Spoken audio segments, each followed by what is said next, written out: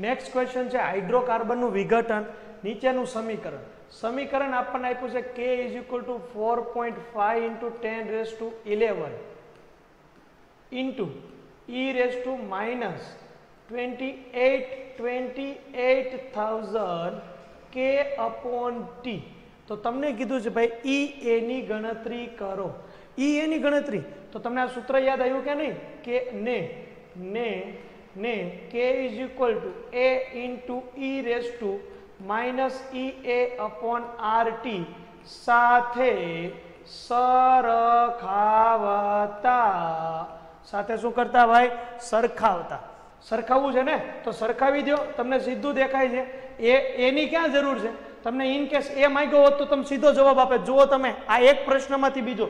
એ માંગ્યો હોત તો સીધો જવાબ આપે. કેટલો? ચાર પોઈન્ટ પાંચ ગુણ્યા દસની અગિયાર ઘાત સેકન્ડ ઇનવર્સ પરંતુ ઈની સીધી ઘાત સરખાવો ને તો અહીંથી સરખાવવું તો minus E A upon R T, minus E A upon R T is equal to minus twenty eight twenty eight thousand K upon T. કે રાખજો, કાઢતા નહીં, નકર હેરાન થશો.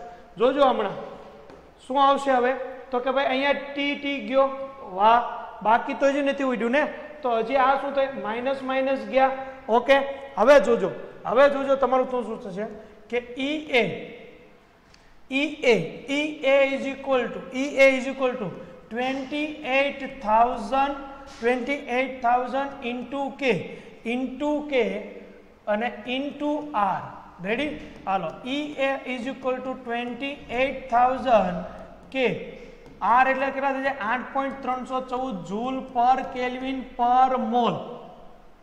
પર મોલ, એટલે ઇન્વર્સ ચાલો, હવે અહીંથી શું કેન્સલ કરું? તો કે ભાઈ કેલ્વિન કેલ્વિન ઇન્વર્સ ગયા. મોલ રહેશે, જૂલ રહેશે. તો E A is equal to બસો ને બોતેર. બસો બોતેર પોઈન્ટ ફાઈવ સમથિંગ તમને અહીંયા જૂલ પર મોલ પ્રાપ્ત થશે, જે કિલો જૂલની વાત છે. ઓકે તો આ બની ગયો તમારો જવાબ. બહુ ઇઝી વસ્તુ છે. આસાનીથી મેળવી શકશો.